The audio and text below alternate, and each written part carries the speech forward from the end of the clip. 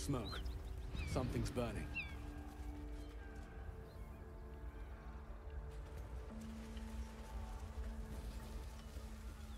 I hear shouting. Someone needs help.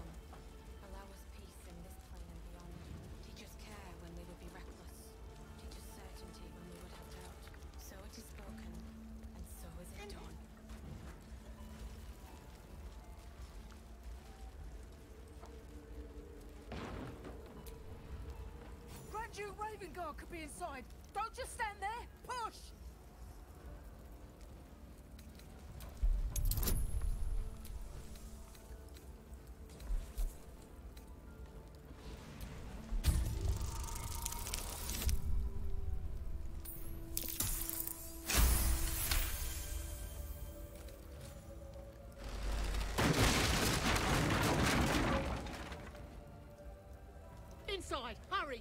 We don't have much time.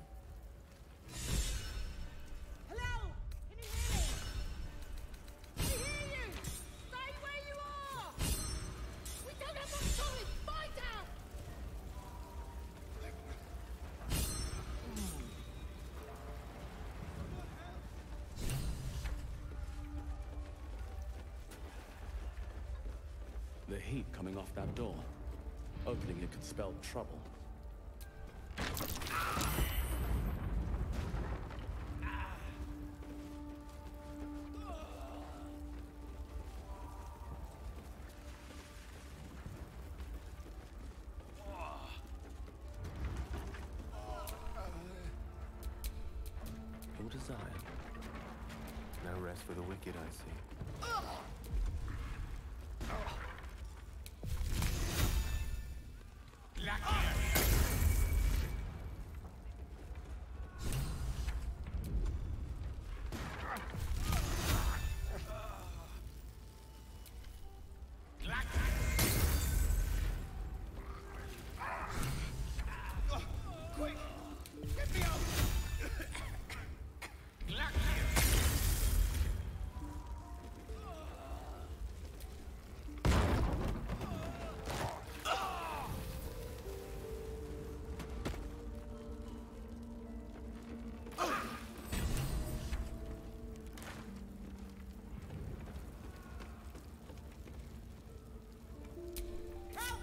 Lost in thought.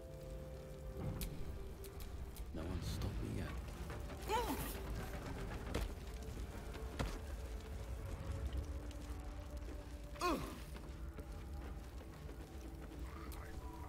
Not now!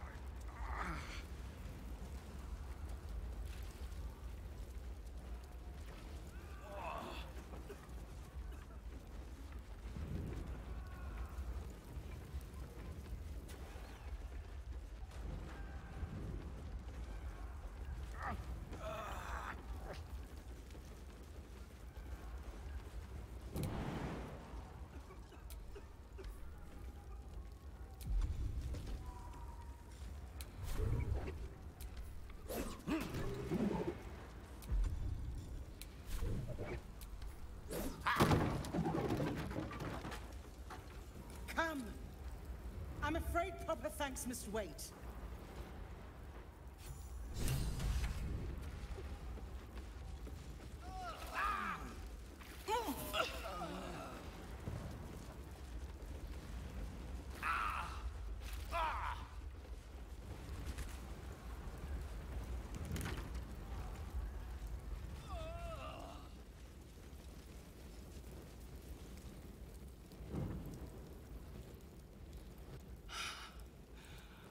Fresh air.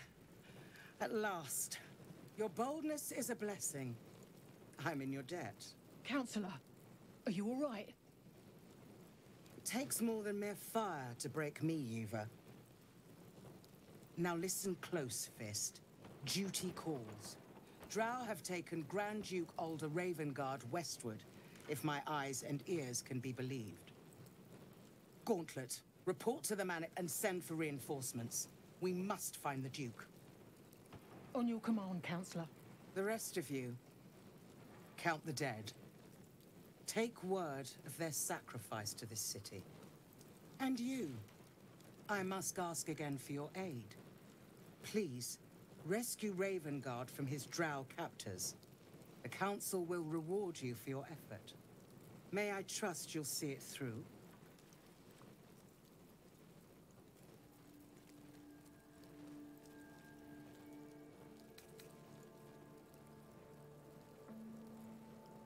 Champion indeed.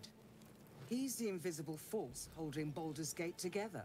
Without him, the city faces collapse. In fact, I fear that may have been the intention of those who abducted him.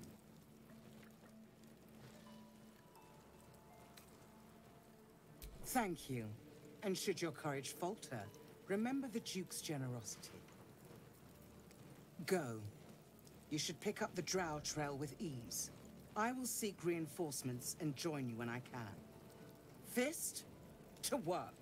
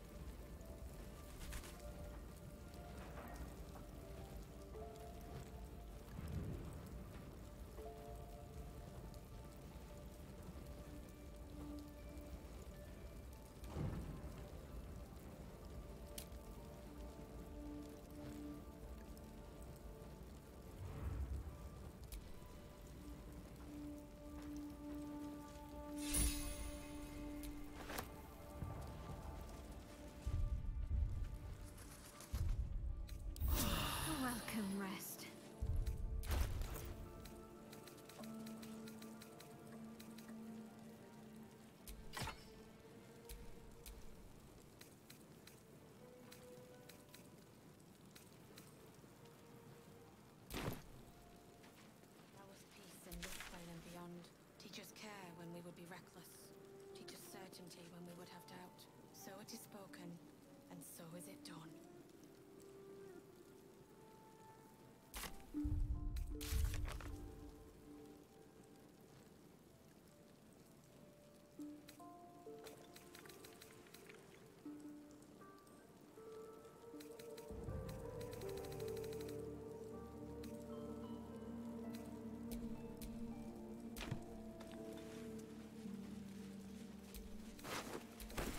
Drowcraft armor. No magic left, though. Sun's too bright.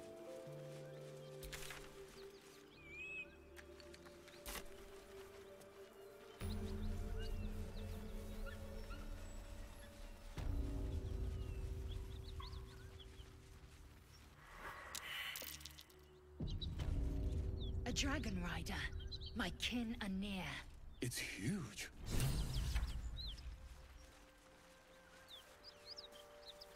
Be too much to hope that's nothing to do with us, wouldn't it? I suggest we admire it from afar.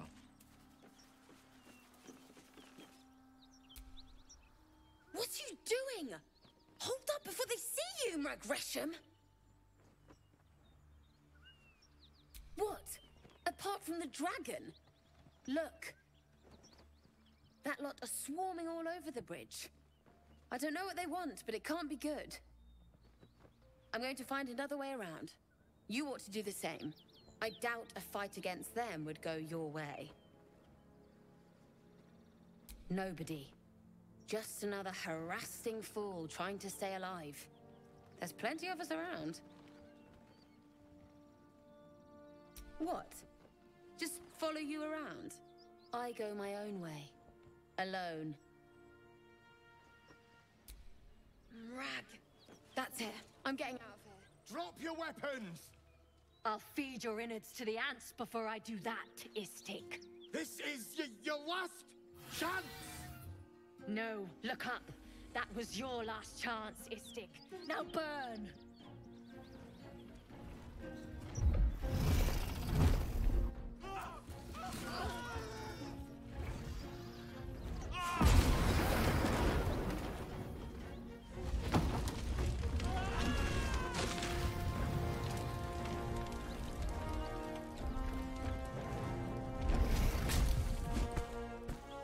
Wasting time, Beretta. You're not here to play with the locals. Of course, Kithrak. We merely sought to... No excuses. Question, kill, then move on. Find the weapon. Our queen watches us. Fail her at your peril. A red dragon. I envy its knight.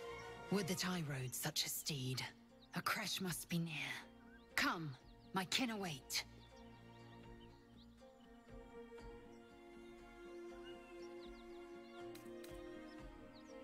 The dragons serve Githyanki.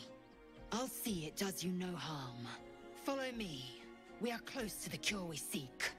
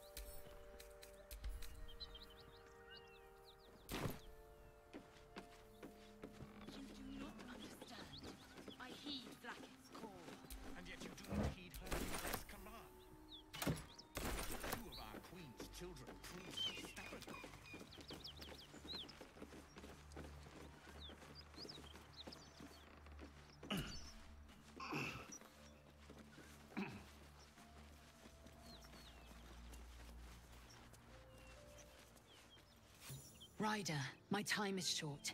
Lead me to... Shh, shh, shh. Such a familiar tone.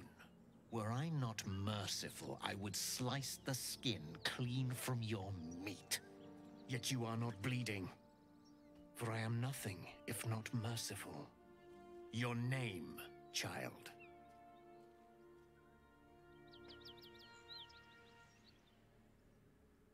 Lae'zel. Lae'zel. Proud. Regal, even. You will call me Gestil Kithrak. Voss, Knight Supreme. The Queen's silver, the Queen's sword. I am who you say. A Ghaik vessel has fallen from the sky, Lae'zel. Thieves aboard have taken a weapon most precious.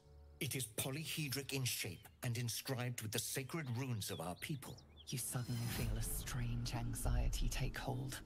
Not your own, but that of the artifact you carry. Somehow, it's afraid. You attune your mind to it. The artifact does not want to fall into the Gith Raiders' hands any more than it does the Absolute followers. Take word to your creche. You are to join our search. Speak up, child. Affirm your mandate.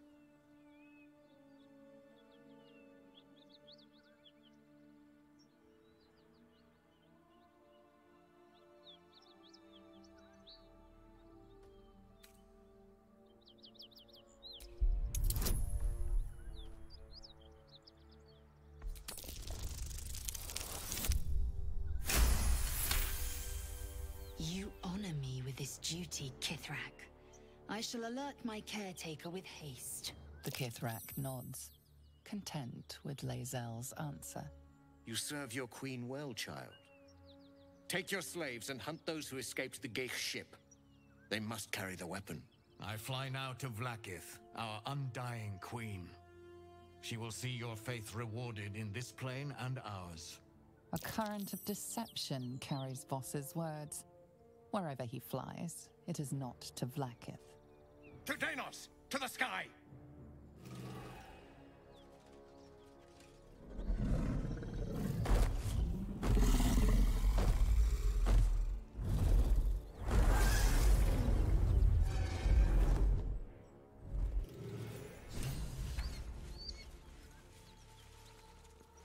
Damn it all!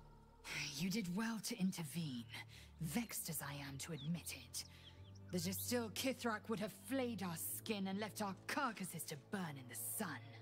All for the sake of the artifact that we carry. The crash is near, this much we know.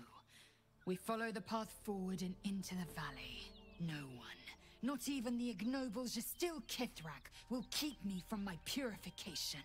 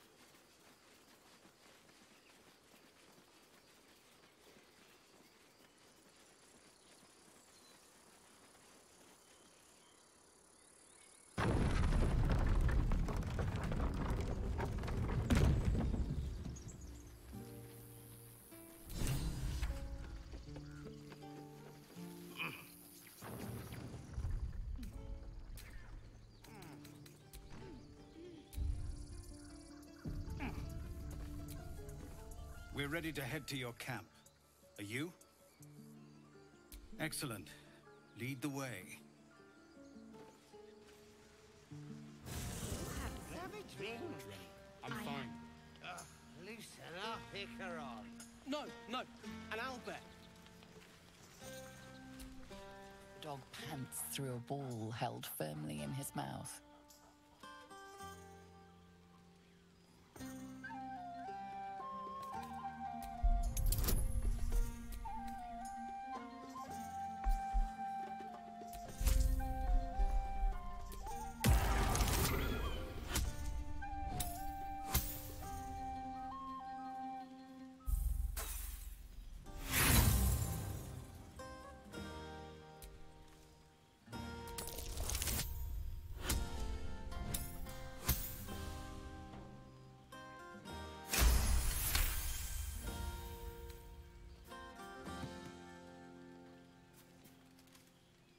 Relinquishes the ball.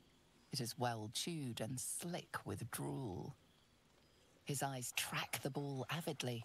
He shuffles on his paws, ready to chase after it.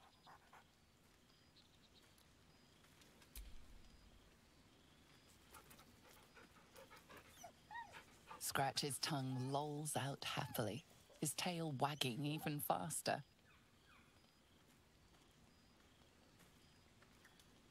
I love you.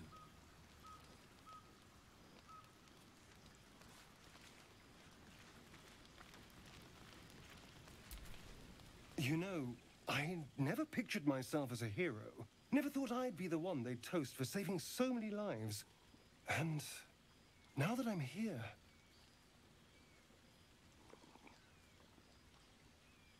I hate it. This is awful.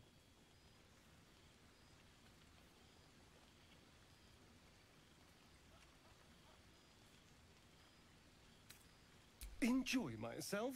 There's a worm in my brain. I'm surrounded by idiots, and all I've got to drink is wine that tastes like vinegar.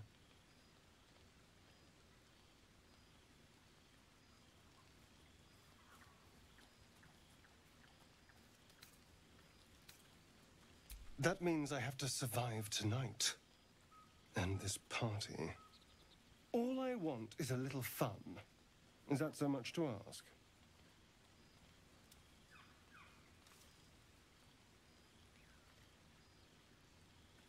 By the hells. Sex, my dear.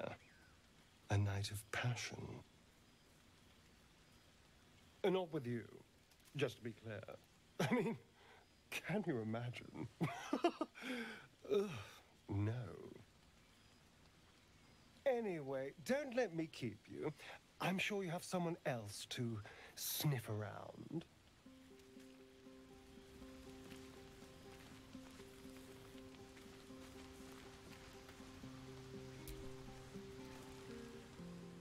Ah, my good fellow. Quite the cozy setup you have here. I'll just make myself comfortable. Thank you so much.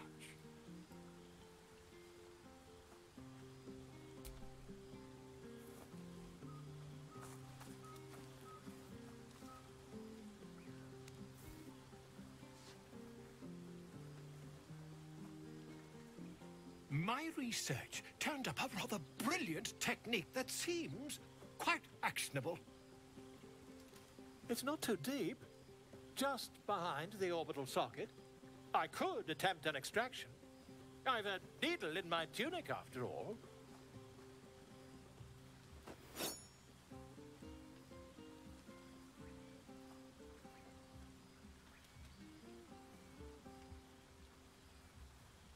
I assure you, I've dreamt of it a thousand times over. You won't find a more learned opinion on this matter, I assure you. Volo carefully holds one of your eyes open and begins to prod uncertainly with the needle. The needle finds the gap between eyeball and socket. Volo frowns and begins to push. Pain shoots through your body as the needle snags on your optic nerve. I think I have it! The needle seesaws back and forth, plucking the nerve like a harp string. Oh, bother. There's some obstacle in the way. I shall need a more robust implement.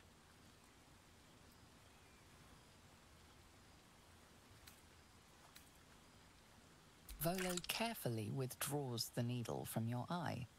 Then, reaching into his bag, he produces an ice pick.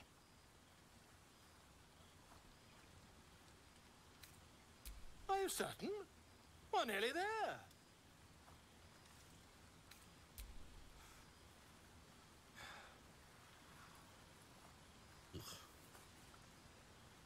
As you wish.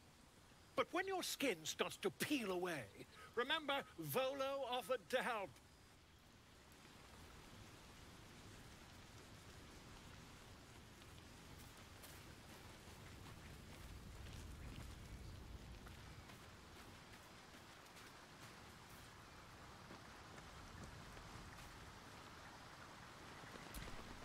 Ah, hells. I was hoping you wouldn't notice I was gone.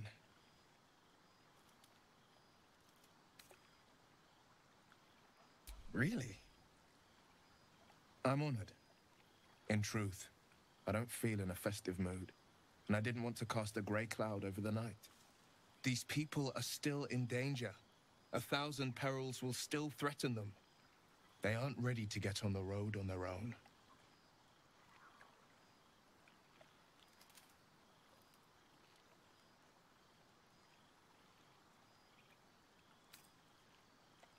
You're good at it. You've given me some just by being here. But off with you. This is your day.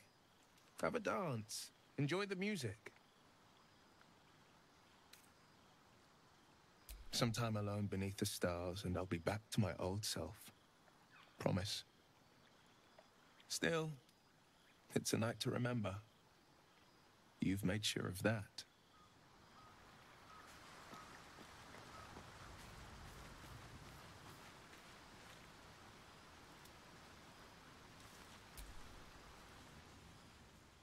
Beautiful night, don't you think? It's a view I would once have... She preferred it when we were alone. Curled up before a crackling hearth with some ancient, esoteric tome between us. Ink. Oh, not everyone is comfortable being alone with their thoughts. Though I never felt alone with a book in my hand. Or with her for company. I speak of Tara, my Tressym, assistant, my constant companion through all the ills and tribulations my hubris has thrust upon me. She'd be most impressed by our efforts saving these tieflings. Proud, even. And I've given her little to be proud of recently, after I was afflicted with my condition. Locked myself in my tower for an entire year. Was inconsolable. Wallowing in my self-inflicted tragedy. Given up on myself. The tower was her. Her research that led me to my treatment. Once we knew that magically infused items were the key, she went out to find them for me. She saved my life. After so long being cared for by someone else, it feels good to have repaid the favor. Not directly to Tara, but to these poor tieflings. I'm sure she would approve.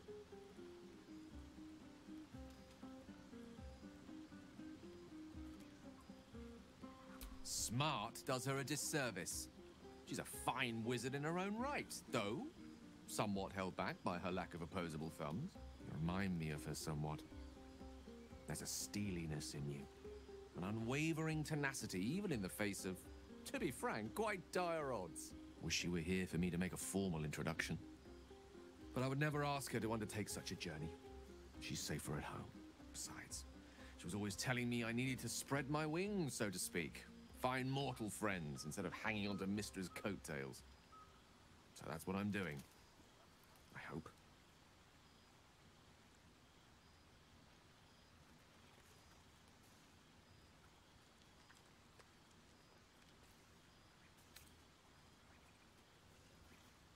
I assure you, were you to meet Tara, you would see the comparison for the flattery it is. But perhaps that's not a point worth laboring further. Suffice it to say, I think rather a lot of you. And there aren't many on this plane who I'd give such high praise.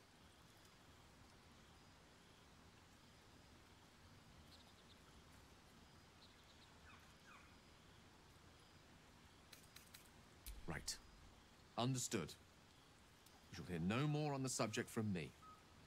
Consider this budding romance thoroughly nipped. Though I hope our friendship need not come to such an abrupt end. Go! Indulge in the frivolities. They're good for the heart.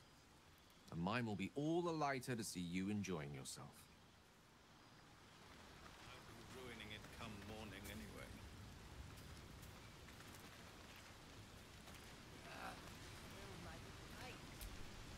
You have no idea how good it feels to see these people smiling. The singing we could probably do without, but even so, thank you.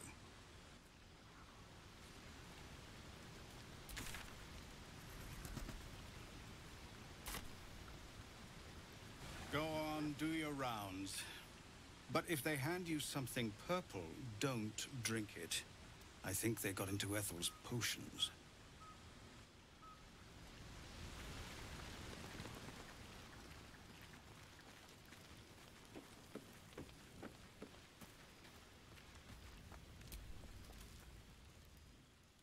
Everyone seems to be in high spirits. Strange. You know who I never thought I'd find myself caring for?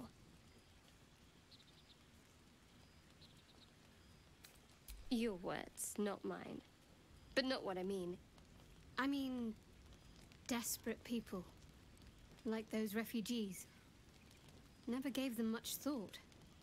Certainly not that bunch in the grove. Yet we came through for them. We saved their lives. Odd.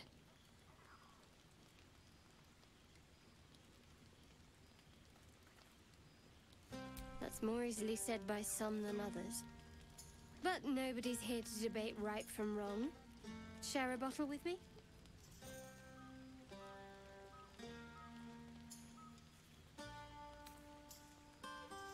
It's quite a bottle. I liberated one of the finer vintages earlier. Best enjoyed someplace private, I think. We should wait a little while. Until the others have drifted off.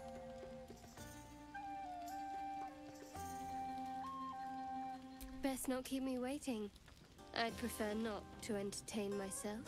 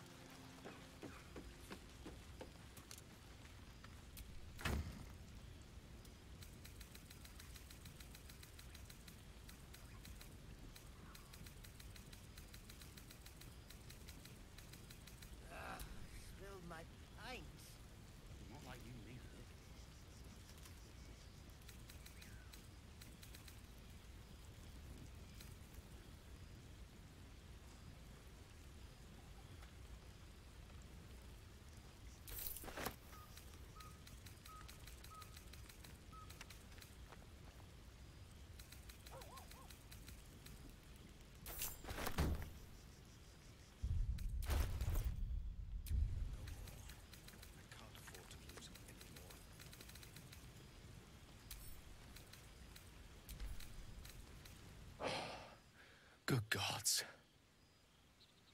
It hardly has any effect. Oh, Mystra, have mercy on us all.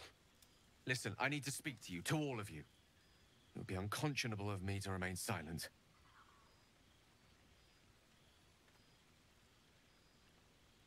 I might just be about to remedy that. You have to know who I was. You have to know who I really am. What I am is a walking shadow of the promise I once held. I'm what one might call a wizard prodigy. Who from an early age could not only control the weave, but compose it. Much like a musician or a poet. Such was my skill that it earned me the attention of the mother of magic herself. The Lady of Mysteries. The goddess Mystra. She revealed herself to me and she became my teacher. In time, she became my muse. And later, even my lover.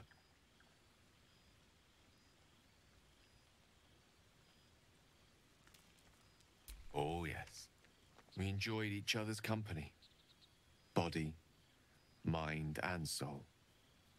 But even so, I desired more. You see, no matter how powerful a wizard we mortals can become, we never scratch more than the surface of the weave. Mystra keeps us in check. There are boundaries she doesn't let us cross. Yet, every time I was with her, I stood on the precipice, gazing into the wonders that lay beyond. I sought to cross her boundaries.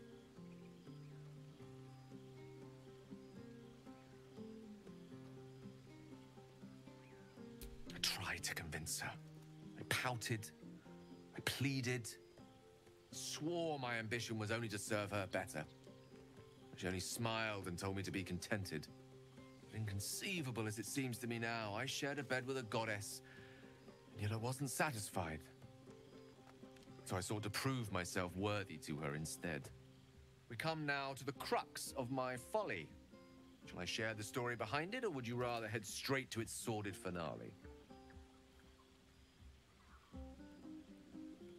Very well. Here goes. Once upon a very long time ago, a mighty lord lived in a tower. A flying tower, to be precise. I'll save his history for another time, but the gist of it is that he sought to usurp the goddess of magic so that he could become a god himself. He almost managed, but not quite. And his entire empire, Netheril, came crashing down around him as he turned to stone. The magic that was unleashed that day was phenomenal. Roiling like the prime chaos that outdates creation. Even the weave itself could not withstand the onslaught. It fractured, then shattered, and all magic was lost to the mortal realms until the day Mystra returned. She restored the weave, reuniting all its scattered shards. Or so I thought. Until, in the course of my studies, I learned of a book. Netherese tome in which a piece of the fractured weave had been sealed beyond her reach. What if, I thought, what if, after all this time, I could return this lost part of herself to the goddess? The answer was to try. And the outcome was to fail. I was certain that this deed of raw power, draped in romance, would convince Mystra to take me by the hand and welcome me into her hitherto forbidden domains. I was mistaken. I obtained the fabled book and took it into my study. As for what happened next... Here. Place your hand over my heart. Let me show you.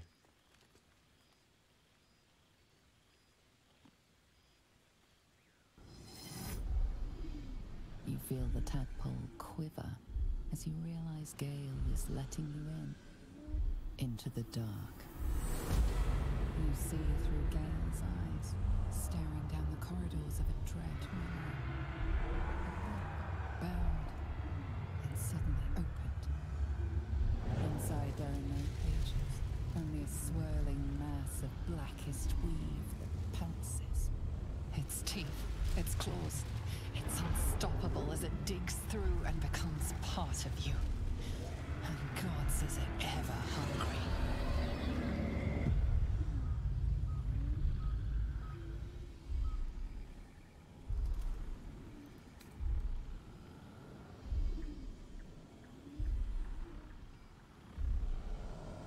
Thankfully, the moment I absorbed the fragment wasn't enough to kill me outright. It was only the beginning.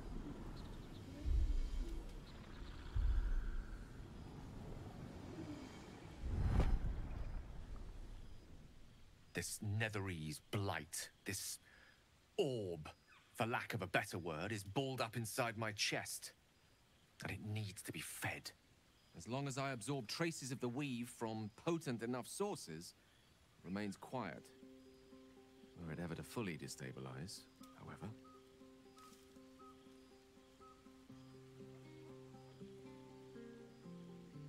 I will erupt. I don't know the exact magnitude of the eruption, but given my studies of Netherese magic, I'd say even a fragment as small as the one I carry, it'd level a city the size of Waterdeep. We might chance upon a king's collection of magical artifacts around the corner. We might cross paths with a miracle round the bend. Then again, we might not. All of this. It must feel like a betrayal. Say the word, and we'll part ways.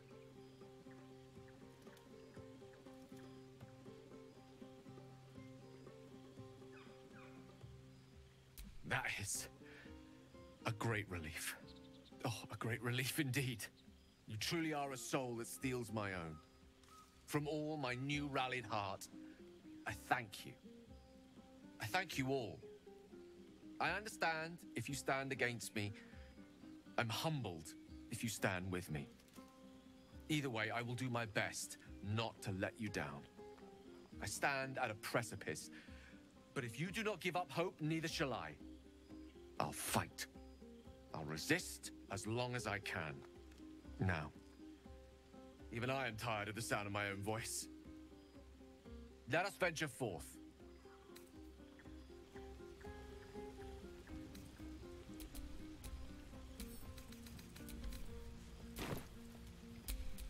No one back home will ever believe this.